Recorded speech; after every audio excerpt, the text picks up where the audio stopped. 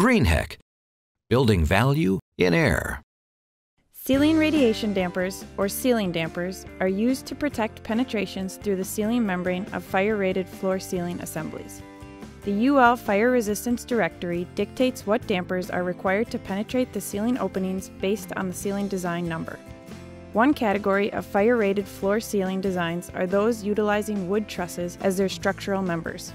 This video discusses the use of ceiling radiation dampers in wood truss floor ceiling assemblies.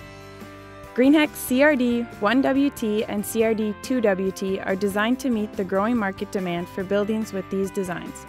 The CRD 1WT is designed with a plenum box for easy side inlet and side outlet duct connections.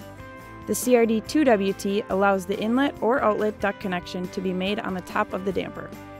Greenheck also offers two different mounting options to make installations quick and easy. The first is the hanger method, which allows the damper to be supported from above using steel straps, wires, or angles. The second mounting option is the base mount method, which utilizes two mounting angles to support the damper at the bottom chord of the truss. The standard closure device on all Greenheck ceiling dampers is a fusible link. The fusible link keeps the damper blades in the full open position to minimize pressure drop. Both the CRD 1WT and CRD 2WT are available with an optional volume controller, which adds the functionality of a balancing damper and allows you to position the blades using the adjustment screw. These features make the CRD 1WT and CRD 2WT the most flexible and widely accepted ceiling dampers for wood truss applications in the industry.